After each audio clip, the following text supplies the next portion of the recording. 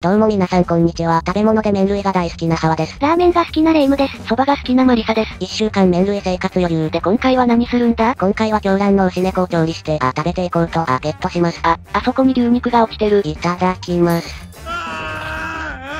貴様。さては俺に毒を、おろろろろろろろろろろろろろろよよよよまずい。お前はいいやつだったよ。勝手に殺すな。牛は生でもいける。死んでしまいます。というわけでやっていきます。実はこれに挑戦したのって5月14日なんですよね。動画投稿するの遅くないか？さては編集サボったな。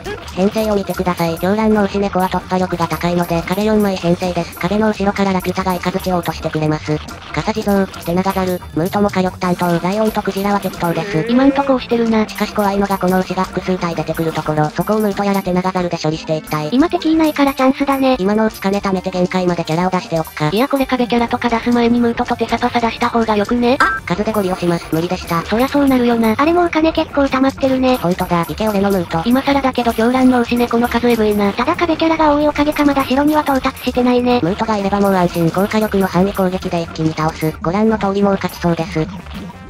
これでもう後ろ破壊できそうだな。テサパサあんまり活躍しなかったね。もう少し足が速かったらな。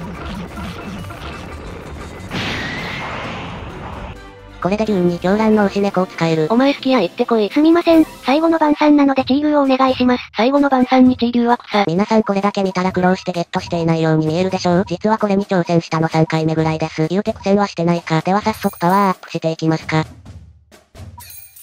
こんなの聞いてないよ XP 少なくないか？少な。おだまりでは早速使ってみますか。って言っても基本キャラクターが足速くなったようなものなので目立ったところは足が速いなおい。改めて見るとやっぱ早いな。早い。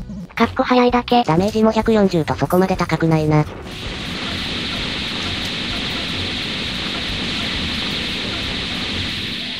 やっぱこいつの攻撃方法おもろくて好きだわ。